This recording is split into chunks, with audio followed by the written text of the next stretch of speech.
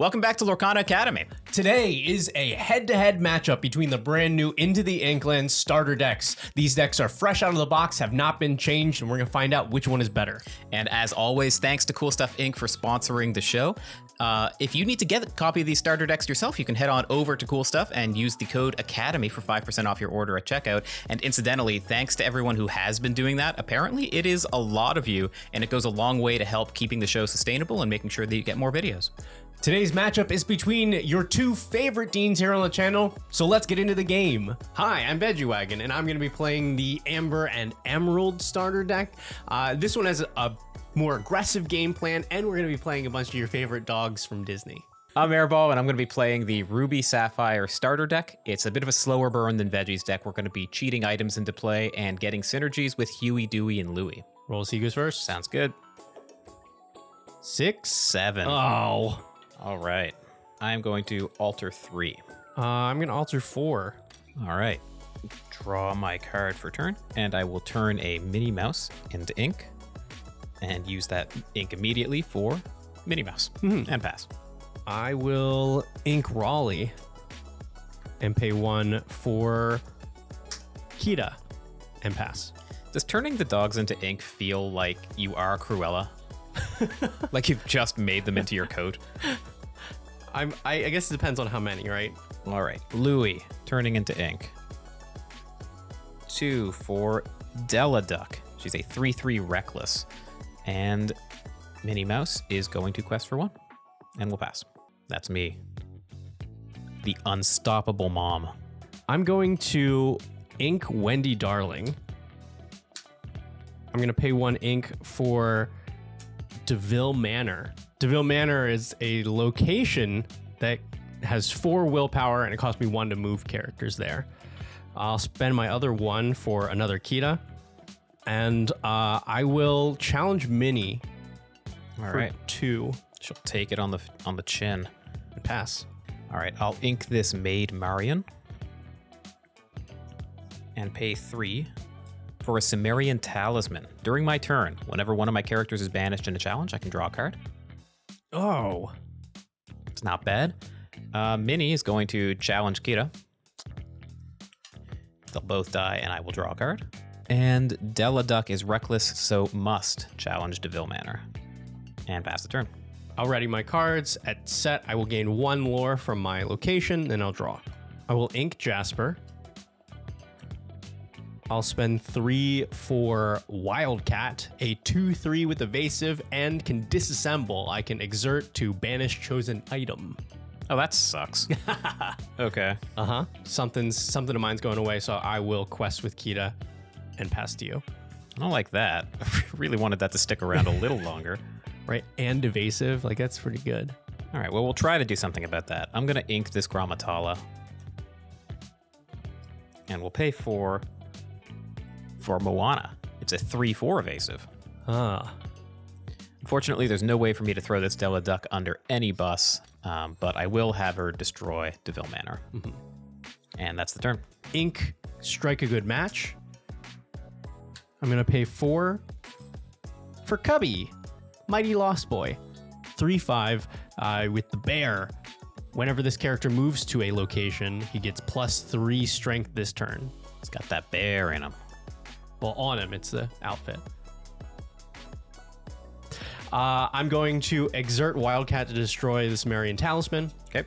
Probably a bad idea for me to quest with Kita, so I'll pass. I've basically given up on assembling the assembling Tron. I'm gonna ink this Louie. And we'll pay five for other Moana.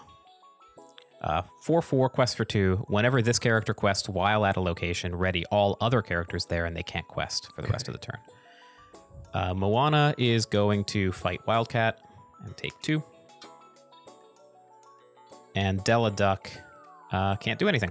So that's going to be the turn. I'm gonna pay four for Lucky, the 15th puppy. A 2 3 with a whole lot of text. Yeah. Good as new, I can exert to reveal the top three cards of my deck. I can put each character card with cost two or less into my hand and then put the rest on the bottom. or puppy love whenever this character quests. If you have four or more other characters in play, your other characters get plus one lore this turn. I also don't think you have really good challenges here, so I'm going to have uh, Cubby quest for one. I'll Okay. pass to you. I mean, this was the line I was working towards, so we'll just do it, I guess. We're gonna pay two for Motunui. Mm-hmm. It is a location with a one move cost, gains one lore at the beginning of each of my turns, and has five willpower. And we're going to migrate the entire team, both Moanas and the duck, over to Motunui. And Moana is going to quest for one. Della Duck is going to unfortunately have to blow herself up on Cubby. Mm-hmm. But because Della Duck is banished and she was at Motunui, uh, instead of going to my graveyard, she's going to go into my Inkwell Exerted. We're going to quest with this Moana, which is what we came here to do, and that will ready up the other Moana. She can't quest again. I don't feel the need to throw it away for a Cubby, so that's where we'll leave it. All right, I feel like this is gonna make me sad, but I want my cards. Uh, it's good as new. I'm gonna reveal the top three. One, two, three. Nice. Nani? Uh, I'm gonna get my two Dalmatian puppies since they cost two or less, and Nani will go to the bottom of my deck In any order. in any order. I'm immediately gonna ink one of these Dalmatian puppies. You monster. Uh, I'm going to use that to play a Don Karnage, a 4 4 evasive quest for two lore. Uh, and then I think I need to get rid of Motunui. So I will have both Cubby and Kita challenge it for the five. it's gone. Pass a turn. All right, uh, let's start by getting some information. I'm going to pay four, and we're going to play Gramma Tala. I get to look at the top two cards in my deck, put one in my hand, and the rest on the bottom. That's valuable information. Because originally, I was going to play this, but instead, I will turn Gyro Gearloose into ink.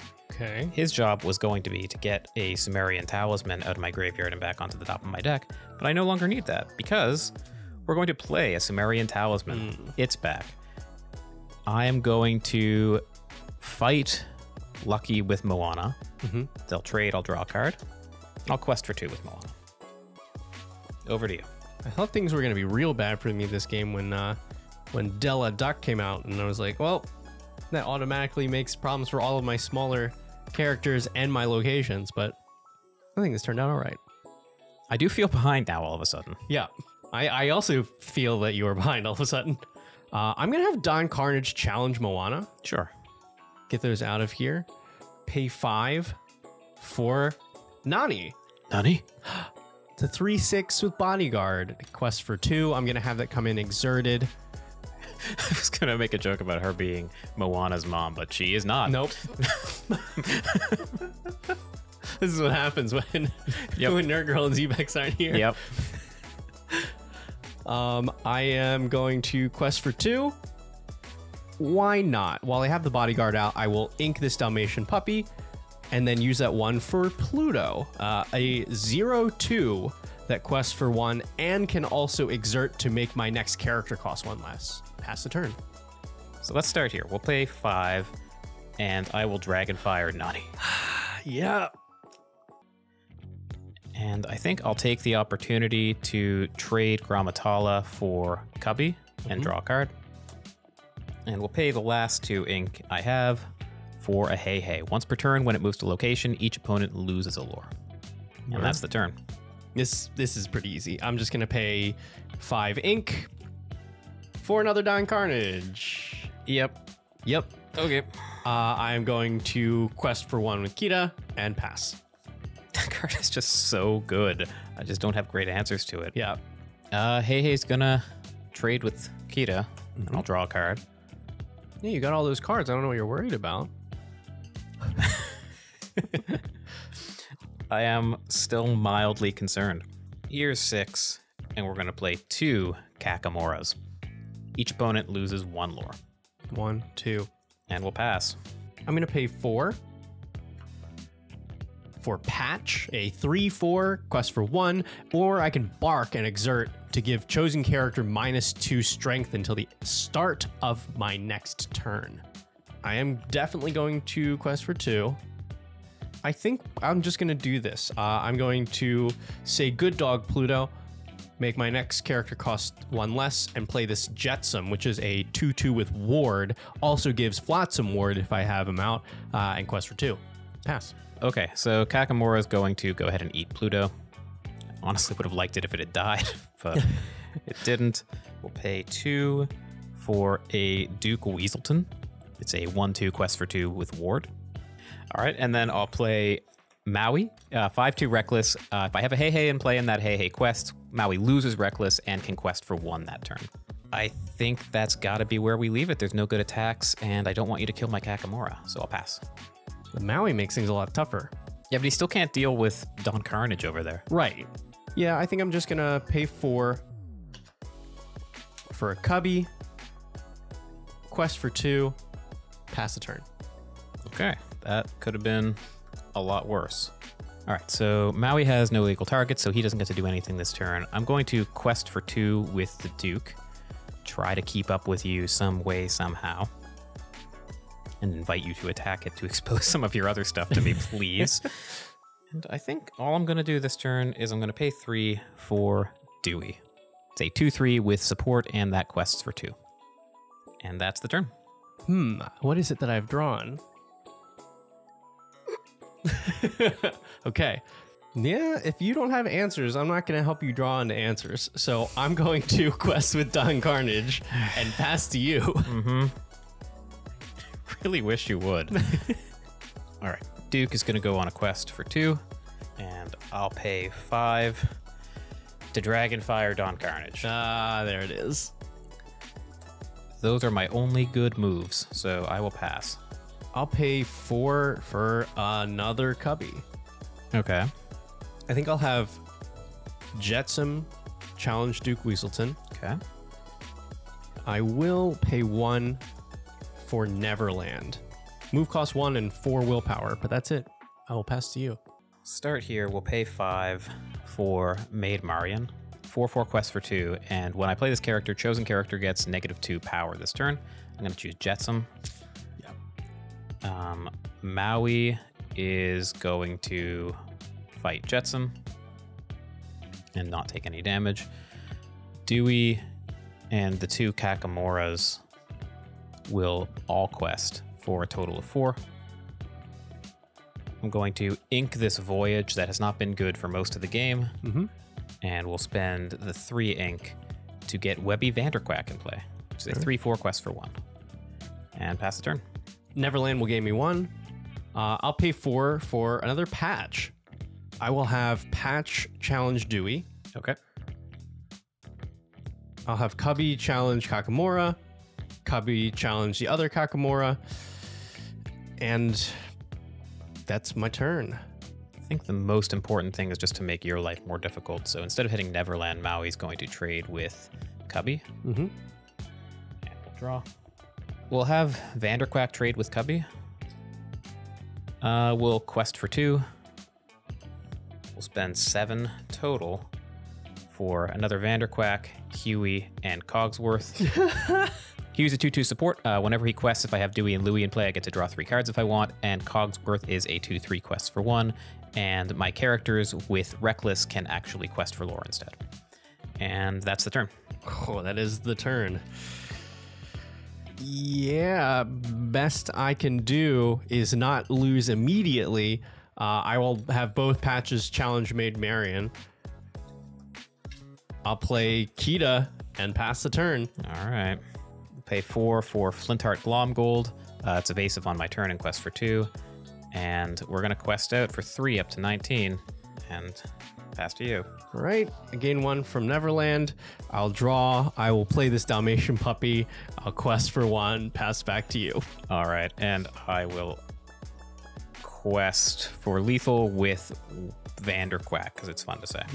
okay, game two. Game two. I'm gonna alter five. Okay. I'll alter three, I think. All right. All right. I'm going to start by inking Improvise and paying one for Neverland. It's a good start. Pass to you. I'm going to ink a Minnie Mouse and play Flounder and pass. All right. Ready at set. I'll gain one from Neverland and draw. I will ink De Vil Manor. Pay two for a Dalmatian puppy. Two, three, quest for one. And where did they all come from? I can have up to 99 copies of Dalmatian puppy tail wagger in my deck. I still don't understand why it's 99. Is- Isn't it 101 Dalmatians? I, I yeah, I'm not sure. I'm not sure what the 99 is for, but ah, pass. Some Disney nerd is like, "Oh, actually, it's 99, but they there were two that pretended to be in the movie, so Right. that made it 101. Yes, you mean the other two Disney nerds that are Right. on the channel? Cruella was wearing a Dalmatian coat and pretending to be a Dalmatian, so right. she's the hundredth. it's actually Dalmatian's monster.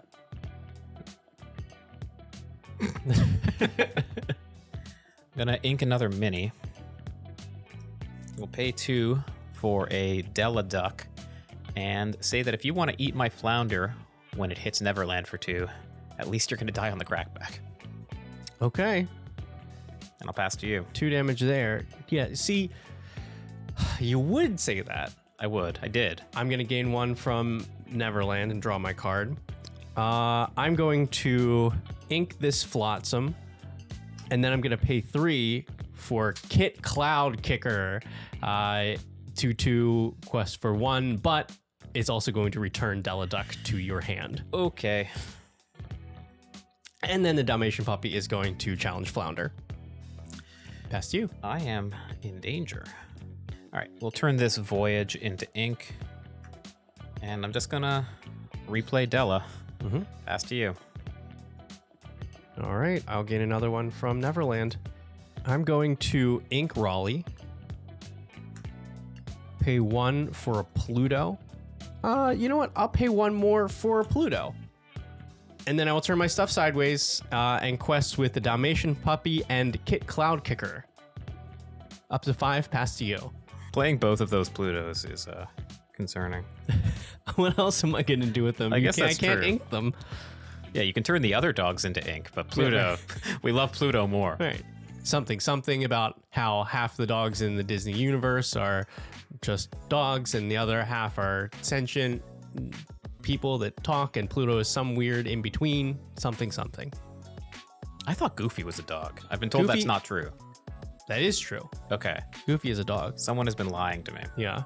Uh, I'm gonna ink this fish hook because I don't think the uh, the item strategy is where I want to be when I'm down this much. Della is going to eat Neverland, and we'll pay for for Louie, Mhm. and I'll pass. I'm going to exert Pluto, so my next uh, character costs one less. Then I'm going to pay four to shift Pluto onto the other Pluto. Okay. So this is uh, Pluto Determined Defender, a 3 8 bodyguard. At the start of my turn, I remove up to three damage and quest for two Three damage from it or three damage from it. Okay. Just from it, yeah. I'm going to have it challenge Della Duck, yeah. and then I'll just quest here for two more. Pass to you. That's pretty nasty. Yeah. I realize also it's it's very cute if you even if you don't have the double Pluto like I do, you can uh, it can reduce itself and then it just is already exerted for the bodyguard. We're gonna start with the Sumerian talisman, and we're gonna have to deal with that Pluto eventually. I'm thinking about just throwing Louie at it, but I think I'm gonna give myself one more turn to draw the answer. I'm going to turn Flintheart Glomgold into ink, and we'll try to develop a little more. I'm gonna put Duke Weaselton into play, and hope the top of my deck is good to me. we'll pass. Pluto's going to heal for three. I'm gonna pay four for a cubby Okay. and then do this thing. One, two, three, four, five lore. Yeah. Pass to you. I'll quest for 2 Mhm. Support onto Duke. Mhm. Duke is going to hit Pluto for four and blow itself up in the process. And I'll draw a card. And I really don't want to throw away material, but I think I need to ink this Maid Marian so that I can be ink efficient. We'll pay four for Moana Mm-hmm. and two more for Scrooge McDuck. When he quests, the next item I play costs one less that turn. And we'll pass. That's where we leave it. Ready. We're gonna take three damage off Pluto and draw. I'm going to ink Helga Sinclair. I'm going to pay five for your friend Don Karnage. Wow. it just got rolled this game. Yeah. And then we'll just go one, two, three, four, five, six lore. And good luck. Your turn. Yeah, you got it. Yeah, all right. Game three. I'm gonna alter another five. Uh, yeah, I'm gonna alter one. I don't know that that's right, but oh wow. Okay. All right, good to go. Mm-hmm. Ink Cogsworth and pass. I'm going to ink Wendy Darling and pay one for De Vil Manor. and Pass. I'm going to ink Webby Vanderquack. We're gonna pay two for Scrooge McDuck. When he mm-hmm. quests, one less for the next item. Pass. All right. I'm going to gain a lore from the manor. I'm going to ink Jasper. I'm going to spend one for Neverland. Yep. And I'm going to pay one for Kita. Okay. Pass to you. I'm going to turn this voyage into ink. I'm gonna quest with McDuck and pay three instead of four for the vault door. My locations and characters at them ga- uh, gain resist one, and we'll pass. Gonna gain two lore for my locations. Draw a card. I'm going to ink hypnotize. I'm gonna pay three for Pongo. Uh, it's a three-two quest for one, and once per turn, I can pay two ink to reveal the top card of my deck. If it's a character, I put it in my hand, but otherwise, I put it on the bottom. I'll just quest with Kita. Sure. Pass to you. I'm going to ink this Moana. We'll pay three for Agrabah. Costs one to move there, gains two every turn, and has five total health. We're going to move Mr. Duck over there, Mm-hmm. and he is going to hit Kita and take one. And we'll pass. gain two more lore. I'm going to have Pongo challenge uh, Scrooge McDuck, Okay. ink this improvise, and pay four for your favorite. It's lucky. Yeah, okay. Man, the Agrabah's a lot, but having the damage from Kita is bad, so I think I will just gain the lore and pass. This feels terrible, but we gain two from Agrabah during the set stage. All right, well, this Moana is going to get turned into ink. We're going to pay two for Huey, and we're going to pay three for Webby, and we'll pass. I'm gonna gain two more from my locations. Yep. Good as new. I'm gonna reel a top three and put any that costs two or less into my hand. Which is just Helga Sinclair. Very glad to see that Pongo go to the bottom. Mm-hmm. Probably not going to matter, but Uh, I am going to then just immediately ink Helga. I'm going to pay five for Nani, who is going to come in as a bodyguard. mm-hmm. I'll quest with uh, Pongo and Kita. Pass a turn. Ready and set and gain two from Agrabah. I'll ink this Sumerian talisman because we are too far behind. I'm going to pay two for a HeiHei. When it moves to a location, each opponent's going to lose a lore. And the last four will be for Louie. I think Webby and Huey are both going to have to swing out at, I don't think it matters, Neverland. Okay. I'm hellbent. You. Ready, set, draw. What a great game. That's a great game. I'm having a real good time. I'm going to pay one for Pluto, Uh huh. and I'm going to pay three more for Kit Cloudkicker. Oh no. Uh, I'm going to return HeiHei to your hand. Sure. Uh, and then I'm going to quest with Lucky for one. With Puppy Love, uh, when it quests, if I have four or more other characters, which I definitely do, uh, they all quest for an additional lore this turn. So that'll be one, two, three, four, five, six, seven for exactly the win. Yeah. Woo! That was a pretty bonkers game. Uh, Veggie, your deck kind of seemed to do the thing in each of the games we played. How did it feel? Uh, it felt great. Uh, honestly, I think that deck right out of the box uh, functions really well, has a good game plan, and constantly keeps cards in your hand. So I think that's a really good place to start. Yeah, I felt like I also had a proactive game plan, but yours was better, and I couldn't really answer it, especially when you went first. But the idea of the deck was pretty cool, location seemed great, and with a few upgrades, I think it could be really good. And if you want to get those upgrades, you can head on over to our sponsor, CoolStuffInc.com. Uh, buy single sealed product, whatever floats your boat. Uh, 5% off your order with the code Academy at checkout. And of course, don't forget to like the video and subscribe to the channel so that you know when all of our newest videos come out. Uh, that's all we've got for you for today. We'll see you next time on Lorcana, Lorcana Academy. Academy.